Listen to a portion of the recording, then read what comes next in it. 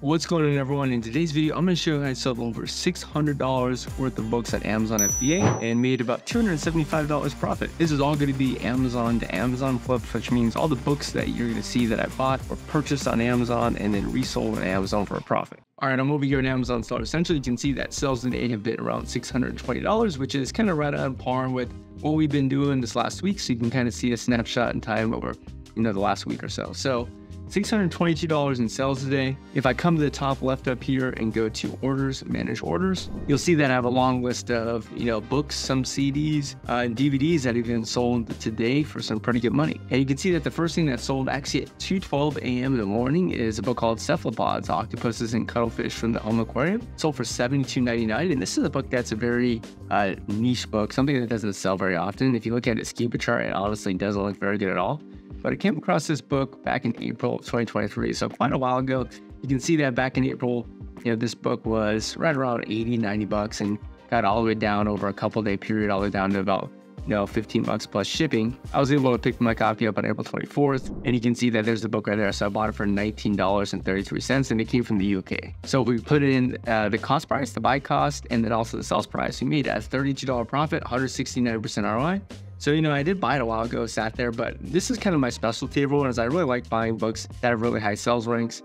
You know, this is a book to me that over the last two or three years doesn't sell a lot, but it definitely does sell. I mean, if you look at 2020, 2021, 2022, 2023, there are a number of sales rank drops, and most importantly, the use price when the sales rank is dropping is pretty high. It's usually upwards of 50, 60, even more than that. Sometimes, like you can see here, back in May of 20, I think this was 2022, selling for $149. So you can tell that this is a book that holds value. If you go back even further, Again, you can see that this book holds a pretty good value. So I was actually able to pick up two copies of this. I sent one to my house as a replay because I knew this would take a little while to sell. But um, yeah, was able to sell for some pretty good profit. The next book that we're going to look at was an incredible flip. Periodontics, Medicine, Surgery, and Implants. We bought this on September 8th. You can see we bought it for a total of $19.11 in good condition. And this actually sold for $129.99. So guys, this is a book we bought on Amazon and flipped on Amazon for profit. So you can see 1911 was a buy cost, 129.99 was the sales price. We made a $76 profit, a 400% return on this one book. And actually, I sold this book twice. So I actually did pick up two copies for right on the same price. And if I go to orders here in Seller Central, or sorry, on uh, Seller, you can actually see that both the copies sold for $129. So we made about $75 per book, so about 150 bucks on a really cheap purchase price, which is a really great in a way to start this Amazon Amazon book flipping game. Like especially if you're kind of new, like one of the questions I get all the time is, you know, can I start start if I have capital, you know, less than thousand dollars, less than 500? You can. I'm not gonna lie, it's gonna be slower in the beginning if you have less capital, but you really gotta rely on those books that you know you can buy for a little bit cheaper price that potentially can have really high margins. Now, I definitely didn't expect this book to have that high of a margin, but you can see that when I picked up a couple copies, you know, this was hanging out for a really cheap price, right around $13 plus shipping in September here. And I believe that's what I picked it up, right? Yeah, September 8th. Uh, but before that, this had some like drops in the 75 to 80 range. If we go back further in time, this is a book that, you know, has easily sold in the 150s. Um, and, you know, this is an older book as well. Like, if you look at this, this came out in 2004.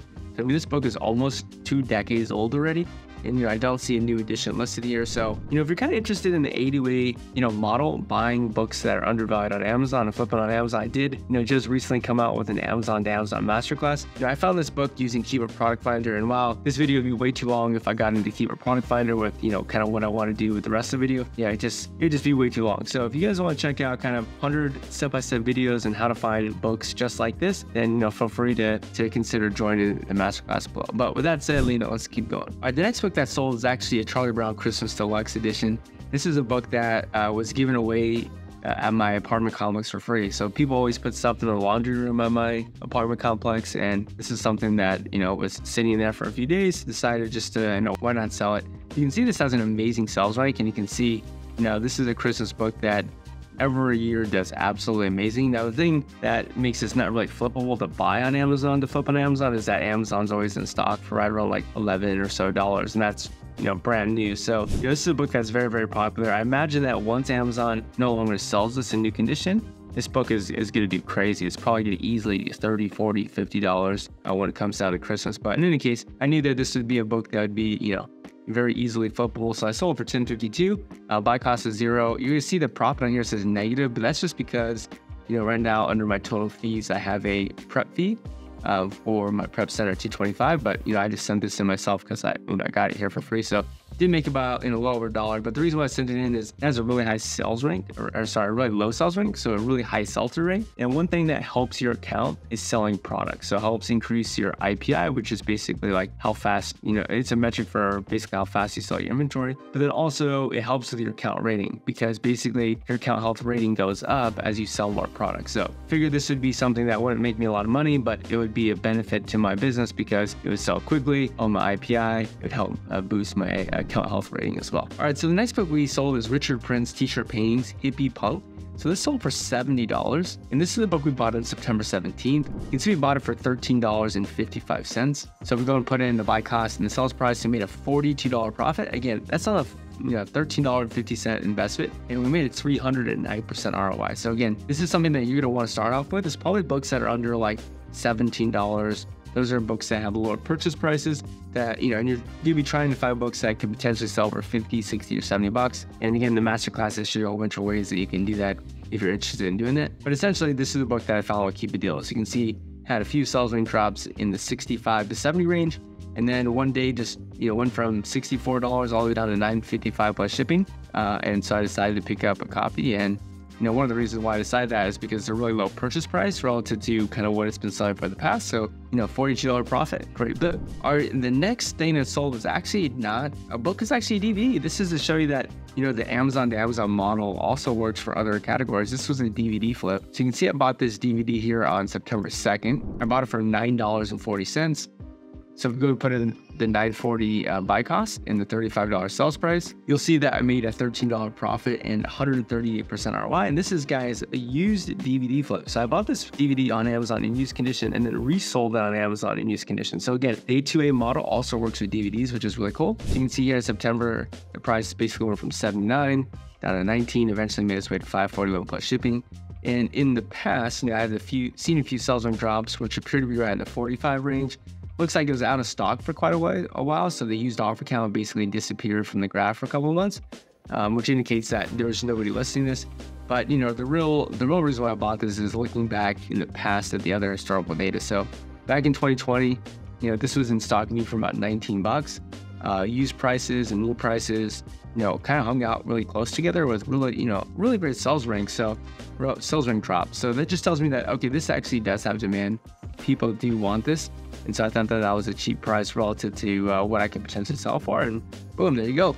Made a $13 profit on a used DVD. And the next book is Santa Scan Scanimation Picture Book. It's a really cool book. So $19.96 is what it sold for. I was actually able to pick up a whole bunch of these on eBay for 322 So if you're not aware, well, first, there's a couple things here. If you're not aware of seasonal book arbitrage, it's a process of buying seasonal books like Christmas books in the off season when the prices are really low and then reselling them during the selling season, you know, during Christmas in this case when people want them. I learned that from one of my good friends, Victor Gallegos. I've done multiple interviews with him. So, you know, check out these podcast interviews with him if you're interested in that model. And then also, we actually went live talking about a Christmas list that we had built together. To be interested in that, you can also check out this video here. But this is a book that, you know, bought for 322 sold for 1996 $4 profit. And this is, you know, uh, a book that does do really well every single year. It doesn't really get too high in price, but I mean, you know, it's a nice, you know, four or five dollar profit per book. So if you, you know, pick up four or five of them, you can make about 20, 25 bucks off this book. So, you know, this is a book that you can basically buy anytime between end of January to even November and probably going to do pretty decent here. So yeah, not an amazing flip that's gonna, you know, pay all the bills, but still a, a good book, self profitable, right? Never touched the book, went right to a prep center, made some good money. Our next book is actually a Bible. I do really well with Bibles, sell tons of Bibles, and this sold for $84.96. Uh, I was able actually to pick this up on October 10th. It picked it up for a total of 21.54. So if I go and put it in this the cost price and sales price, we mean a $40 pro- $39 profit on a $21 investment, so 180% ROI. So a really great flip there. Scroll down on the Cubic chart. Um, yeah, you can basically see that January, February, April, March. Uh, you can see that this is doing really well. So in the $60 range, it's selling pretty well. Previously had some sales range drops at, you know, also in the $90 range, even the $100 range. You can see that when Amazon was selling this has an incredible sales rank the used prices uh, are also really high, you, know, up in the 20s, even when Amazon's on the listing at 30. So I knew that, okay, if I'm picking this up at $20, I mean, the demand for this book is absolutely insane. Like, you know, it, it's definitely going to do well. So picked up, I believe, a couple copies of this book, but uh, one thing you also notice that the buy box used prices, which are denoted by these like pink triangles up here, the these buy box prices are you know consistently stay pretty high, even though the used price does tend to come down a little bit. So made a really good profit on that book, and that's something that I'll be tracking for the future as well. All right, the next book I sold eight hours ago, 350, you know, was a book called History of Children's Book Illustrations. So we sold that for $44.99. And I actually bought this book on September 26th. You can see I bought it here for uh, $4 plus shipping. Bought it in very good condition there, and total buy cost was $7.98, $7.99, sold for 45 made a $19 profit again. This is the, the bread and butter flips that you're looking for, books that you can buy with low purchase prices that you can turn your money on and make some pretty good profit on. And if you, know look at the the cube chart, this is again something that has had some sales range drops in the 40 range, um, and then got really cheap down to about four dollars plus shipping. But previously, you know, sales range dropped in the 40s, right at 30s.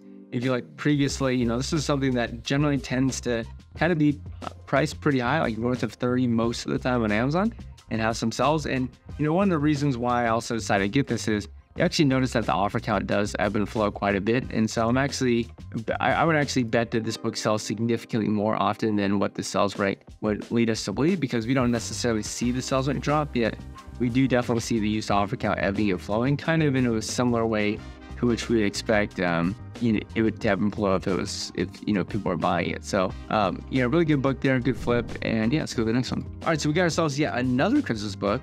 We got uh, this uh, Christmas sermons book. So we sold this for $24.11 and we picked this up for $5.96. Let me go and show you when. So I bought it August 20th. You can see that there's the purchase sold $5.96. There's the book right there, $5.96, you know, used good condition. So sold for $24.11, made a $5 profit again, never touched the book. Went right to our prep center and yeah, we made some pretty good money. So this is yet another book that generally tends to do pretty well during Christmas, tends to get up into that 20-ish dollar range, uh, maybe sometimes even more than that with uh, you know, with the prime bump and the prime gap. So yeah, make sure you go check out Victor Gallegos. He's got a free Facebook community group page. He gives away tons of valuable information there, tons of free books. Um, just let him know that I sent you there. But yeah, really great community and a really great guy. He'll teach you a lot about seasonal books. Our next book we got is the Complete Illustrated World uh, Encyclopedia of Insects. So this sold for 50 bucks six hours ago. I actually bought this for 13.49. At this point, I'm gonna stop showing you, you know, all the orders. I hope you guys trust me that I'm actually not lying to you. That these are books I did buy at Amazon, and that you know you can see clearly the purchase prices. But bought it for 13 bucks, flipped it for 50, made $16 profit, 123% ROI. You can see that you know when I would have bought this on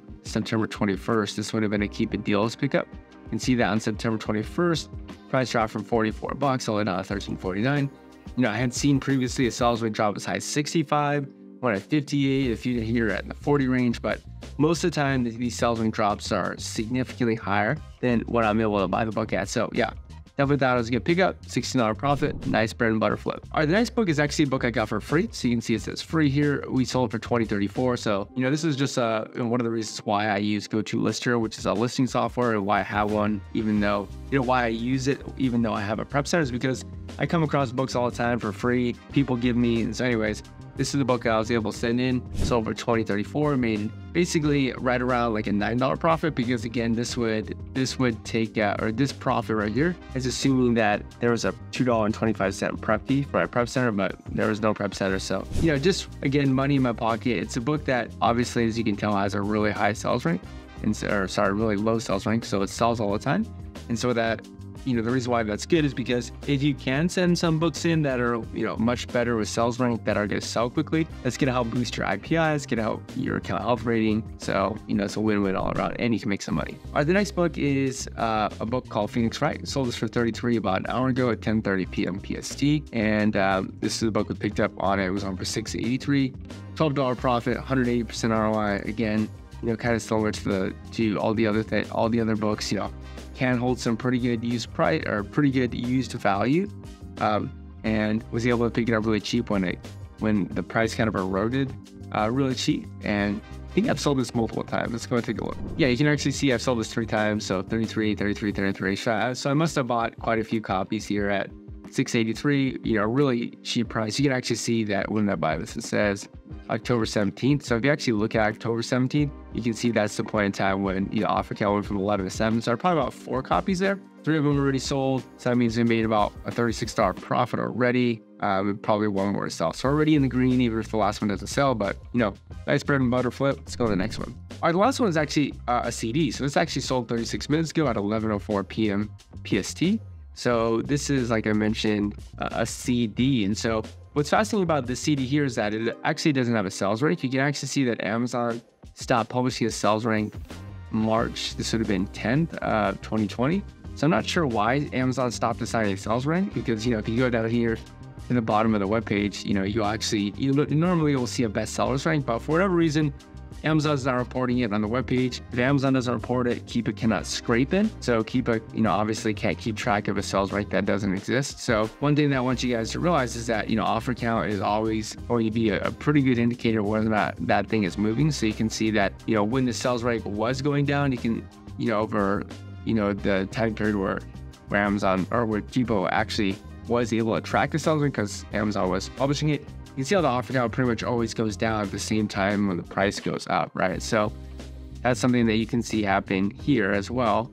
That over the last few years, these prices always shot up during Christmas, come back down here in the off season, and done that repeatedly. So this time I bought an eBay for 593, for 26, $8 profit. I actually did have to prep this one. My prep center doesn't do CDs, but you know, eight, $9 profit. And this is a good example of a, a CD that you know somebody wouldn't be able to find uh, on Keepa Product Finder if they're looking for sales rank. So one of the you know pro tip strategies out there is sales rank isn't always the number one thing you should be looking at. Off a lot of times you should be looking at changing offer counts because that might indicate that that item selling, and especially if the that product or that book doesn't have a sales rank, then you could potentially come across some gold mines, which are really awesome. So again, that's kind of it for this video. If you want to join the Amazon Amazon Masterclass, 100 step-by-step videos that go over my process of how to do it. We basically sold a total of 622. We made a profit of $277.50 on that. So really great day. Uh, really fortunate that I can do this on the side. Helps me to be able to you know invest my teaching income, uh, live well below my means, save a lot of money, and invest and hopefully reach financial independence for later life. So that's all I got for you guys today. I hope you enjoyed it, and I'll see you guys on the next one. Goodbye.